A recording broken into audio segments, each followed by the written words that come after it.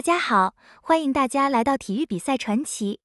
备受广大球迷所关注的2022 WTT 新加坡大满贯赛继续火热进行。据相关消息，北京时间3月16日，在女单赛场上迎来了一场焦点大战。对阵的双方都是中国乒乓球军团的选手，一位是经验丰富的老将刘诗雯，另一位则是小魔王孙颖莎。本场比赛，尽管刘诗雯拼尽了全力。但是最终还是以五比十一、五比十一和九比十一的三局比分，一局比赛都没有拿下来，大比分零比三不敌小魔王孙颖莎，遗憾落败。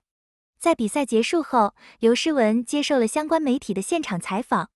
采访的时候，刘诗雯眼眶红了，看得出来，刘诗雯对于这场比赛的失利也是显得心有不甘。谈到不敌孙颖莎的原因，刘诗雯深深叹了一口气。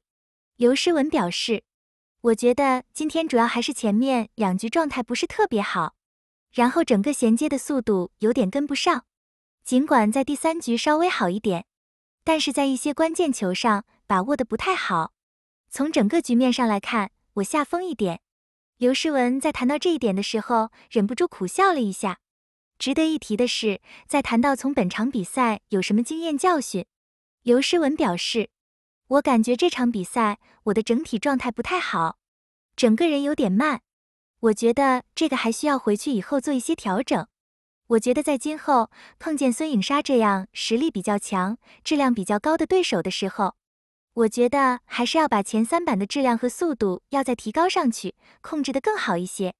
从刘诗雯的采访中，我们可以看出，这位乒坛老将对本场比赛确实进行了认真的分析。同时，也看到了自己的比赛中的不足之处。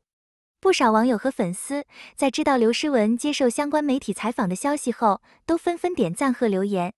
老将刘诗雯真的很不容易，能参加比赛就不简单，我们支持你，刘诗雯好样的，失败不可怕，下次加油，刘诗雯，我们永远支持你。在此，我们也祝刘诗雯在以后的比赛和生活中一切顺利，心想事成。最后，感谢大家的收听、收看，谢谢大家。